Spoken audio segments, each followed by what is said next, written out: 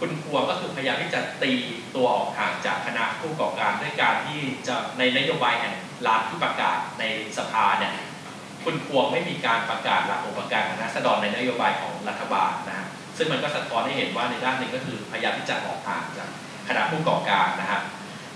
ขณะเดียวกันเนี่ยถ้าเรามาดูรัฐบาลชุดนี้ก็เป็นปัญหาพอสมควรเพราะว่ารัฐบาลไม่มีสถานะที่มั่นคงเท่าไหร่นะเพราะว่าสุดท้ายแล้วเนี่ยมันเหมือนกับมีเสียงปิ่ม ปริ่มน้ำพอสมควรนะฮะสุดท้ายแล้วคุณพวงเป็นนายกได้เดือนเสร็จก็ลาออกนะฮะเพราะว่ารัฐบาลเนี่ยแพ้โหวตนะฮะผ่าน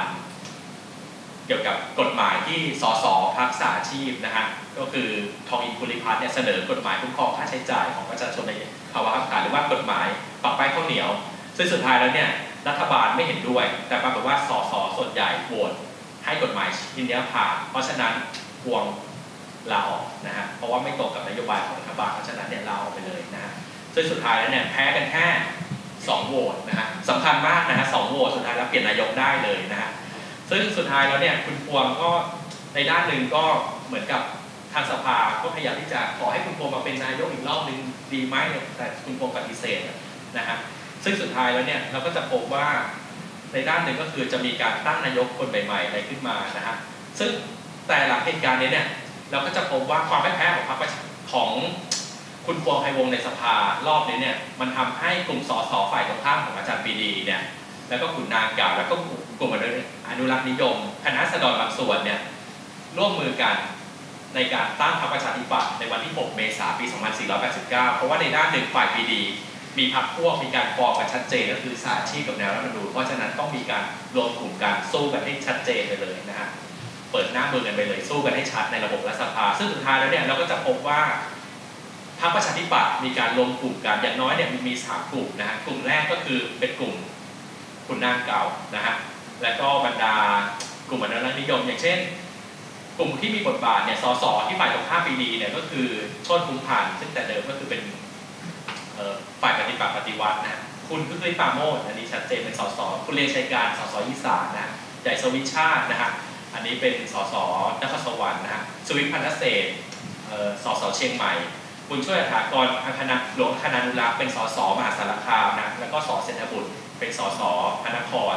แต่เคยเป็นกบฏนะฮะซึ่งในส่วนนี้ก็จะมีบทบาทในการต่อต้านฝ่ายบีดีนะฮะก็มาร่วมมือกับการตั้งพรรคประชาธิปัตย์ขณะเดียวกันก็จะมีพยานต่างๆที่เคยมีบทบาท ในระบอบเก่าเนี่ยมาช่วยกันตั้งพรรคประชาธิปัตย์ด้วยอย่างเช่นพญาศรีวิสันวาจานะฮะพญาศรีธรรมธรรมราชาหลวงพ่อต่อพิธิสารพญาอุดมพลเพชรสวัสดิ์พญาสลับพิพัฒน์หลุยคีริวัฒน์ซึ่งถ้าเกิดเราดูชื่อหลายๆคนเนี่ยก็คือจะเป็นปฏิปักษ์ปฏิวัติและเคยมีบทบาทสำคัญในกรณีกบฏบวรเดชนะฮะขณะเดียวกันก็จะมีผู้ก่อการบางส่วนที่ไปร่วมมือในการตั้งพรรคประชาธิปัตย์อย่างเช่น หลวงสุพัชราสายซึ่งแต่เดิมเนี่ยเป็นทหารเรือคณะราษฎรที่ hardcore มาก แต่ปรากฏว่า ปี 89 แกเปลี่ยนไปแล้ว มาตั้งพรรคประชาธิปัตย์นะฮะคุณประจวบ บุนนาคนะฮะแล้วก็คุณเล้ง ศรีสมวงศ์นะฮะซึ่งสามคนนี้เนี่ยถ้าเกิดไปดูนะฮะจะเป็นรัฐมนตรีที่เคยดำรงตำแหน่งในสมัยรัฐบาลควงหนึ่งด้วยนะฮะขณะเดียวกันคุณโพไพวงก็ได้รับการเลือกให้มาเป็นหัวหน้าพักคนแรกนะครับประชาธิปัตย์คนแรกโดยมีคุณเสรีปาโมดมาเป็นรองหัวหน้าพักแล้วก็คุณริปาโมดเป็นเลขาธิการพักแล้วก็เอา น้องนะฮะคุณชาวลิตอภัยวงศ์มาเป็นรองเลขาธิการพักนะครับซึ่งถ้าเกิดเรามาดูนะครับพรรคประชาธิปัตย์ก็แสดงตัวเองชัดเจนนะก็คือเป็นเป็นพรรคฝ่ายค้านปีดีมาตั้งแต่เริ่มต้นนะครับคือพูดง่ายๆคือเป็นพรรคฝ่ายค้านนะฮะของอาจารย์ปีดี คือต้องการค้านทุกอย่างนะครับซึ่งในส่วนนี้ถ้าเกิดเรามาดูนะฮะบทบาทพรรคประชาธิปัตย์ในฐานะฝ่ายค้านกลุ่มปีดีในช่วงแรกนะฮะก็คือหลังประกาศใช้รัฐธรรมนูญปี 89 ในรัฐบาลอาจารย์ปีดีเนี่ย จะเห็นการแบ่งขั้วทางการเมืองชัด ฝ่ายรัฐบาลก็คือมีสาชีพและมนูญแล้วก็พรรคอิสระในขณะที่ฝ่ายค้านเด่นชัดที่สุดก็คือประชาธิปัตย์นะฮะประชาธิปัตย์มีบทบาทยังไงบ้างคือโจมตีรัฐบาลปีดี เรื่องการใช้จ่ายเงินและก็วิสิทธิ์ของฝ่ายเสรีไทย แต่สุดท้ายแล้วเนี่ยฝ่ายจันปีดี ฝ่ายรัฐบาลสามารถยืนยันว่ามันมีการใช้จ่ายอะไรต่างๆถูกต้องนะมีบัญชีอะไรลงต่างๆชัดเจนนะฮะซึ่งสุดท้ายเรื่องนี้ก็ตกไปนะฮะขณะเดียวกัน ปัญหาที่สะท้อนเห็นความขัดแย้งระหว่างประชาธิปัตย์กับกลุ่มปีดีก็คือปัญหาการเลือกตั้งพื้นที่สภาสมัยแรกซึ่งก็พูดง่ายๆคือเป็นสภาสูงนั่นแหละนะผ่านการเลือกตั้ง ซึ่งในสมัยแรกเนี่ยก็คือจะเลือกผ่านทางบรรดาผู้สสแต่ปรากฏว่าในด้านหนึ่งเนี่ยพรรคประชาธิปัตย์มีคนได้เพียงแค่คนเดียวจากจำนวนทั้งสิ้น 80 คน 79 สาอาชีพในรัฐธรรมนูญฝ่ายพีดีกินเรียบนะฮะเพราะฉะนั้นเนี่ยในด้านหนึ่งพูดง่ายๆคือฝ่ายจัดพีดีคุมเสียงในสภา บจะทั้งสภาสูงและก็สภาล่างนะฮะเพราะฉะนั้นก็ในด้านหนึ่งก็คือประชาธิปัตย์พยายามที่จะบอยคอรอะไรต่างๆนะฮะขณะเดียวกันก็คือเกิดเหตุการณ์กรณีสวัสดิ์พจน์แล้วก็พรรคประชาธิปัตย์ก็จะมีบทบาทในการโจมตีอาจารย์ปีดี ว่ามีความเกี่ยวข้องกับกรณีสวัสดิ์พจน์แล้วก็มีสสประชาธิปัตย์หลายคนเนี่ยถูกจับจากหลังเหตุการณ์ครั้งนี้ด้วยนะฮะ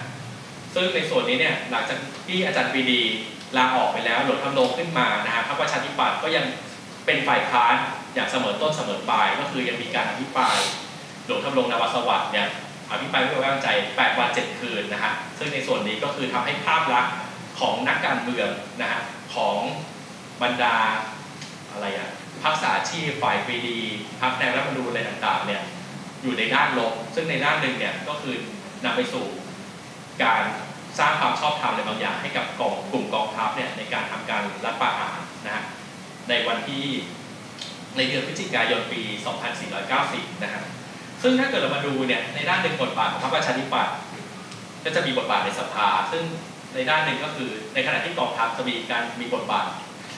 ทางอาวุธในการยึดอำนาจในปี 2499 นะฮะ